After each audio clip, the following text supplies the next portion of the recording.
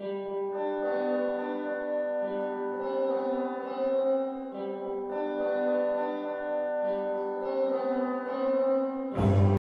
everybody, this is Aarathi Selvan from for Perspective. Um, I am going to talk today about uh, one of the most one of my most um, favorite tools um, in the practice of living intentionally. Now, journaling is definitely one of my favorite um, uh, contemplative approaches to living intentionally. But um, today I'm going to talk about one specific tool that I use um, to live consciously and intentionally on an everyday basis.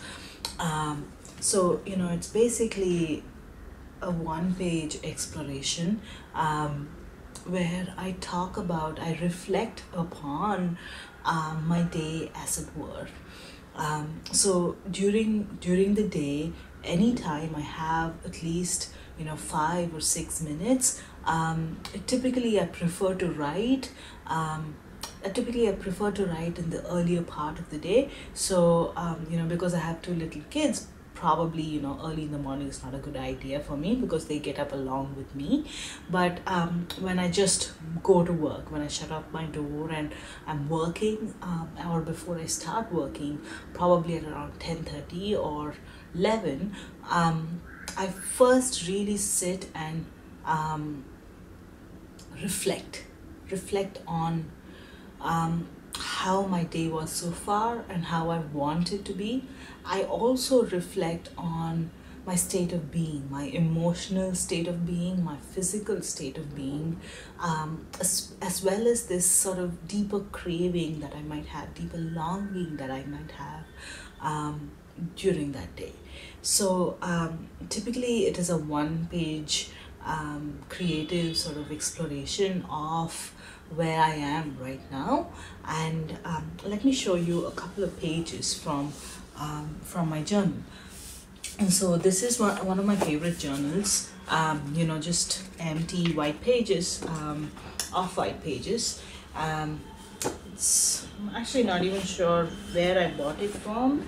But anyway so this is one of the pages where I explore my day um, my day uh, at the typically at the start of the day.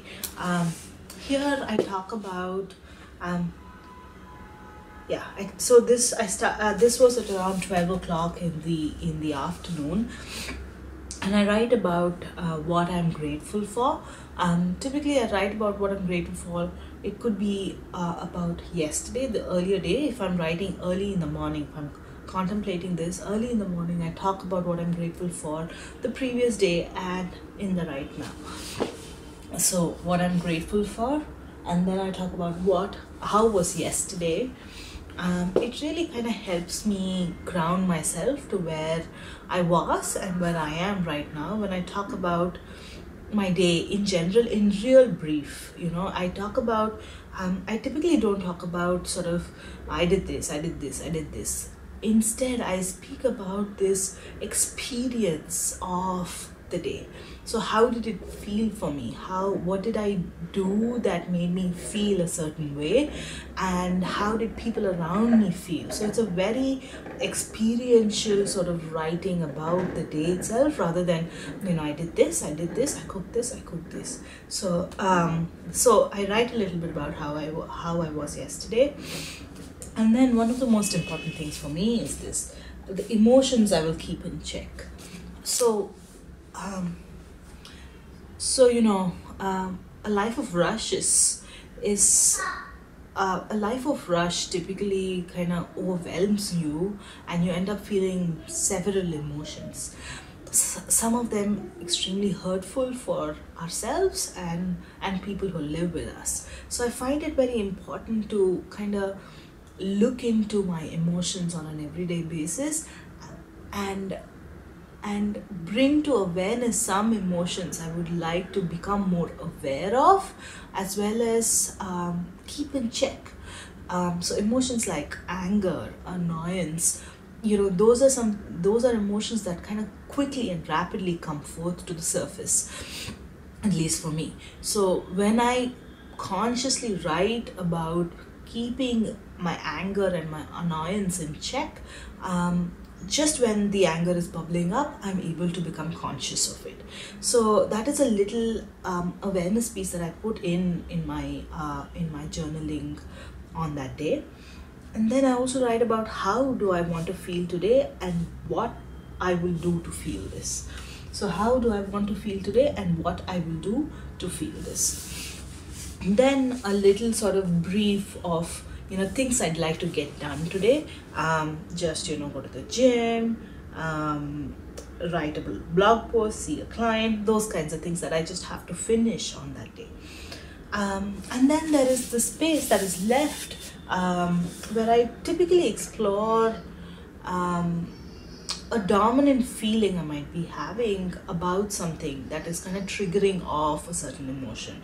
So here I'm writing about any long-term dreams I want to check in about slash feel anxious about.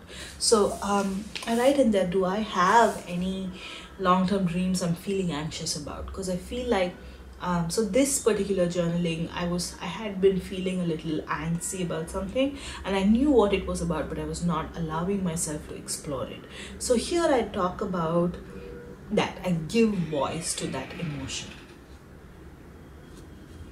so that's it. So this is one sort of journal write-up where i talk about where i um I, I believe that it's a contemplative way to um, live intentionally on my day because I'm setting up um, the intention to you know keep a certain emotion in check I'm setting up an intention to be aware of um, where I am right now based on what I did yesterday what I'm going to do in the future today and and things that happened well for me as well as things that did happen well for me um, I also typically write down one feeling I would like to sort of bring into um, conscious awareness during that day. So in this, um, on this day, it was trust.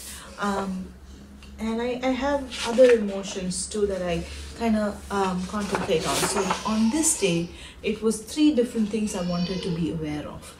You know, pause, connect and soften.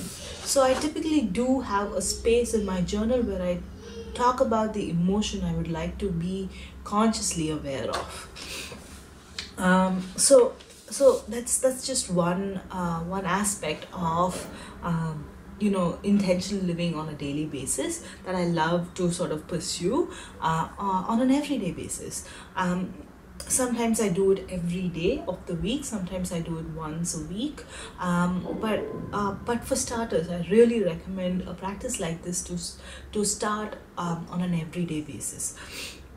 I am going to um, you know draw draw out uh, um, an everyday intentional living planner for you that you can download and use in your everyday life as a starter to um, begin to live intentionally on a day-to-day basis. Um, once you start this and do it for a week you will um, intuitively develop your own questions that you want to add in your journal in order to help you live more intentionally in your life that day.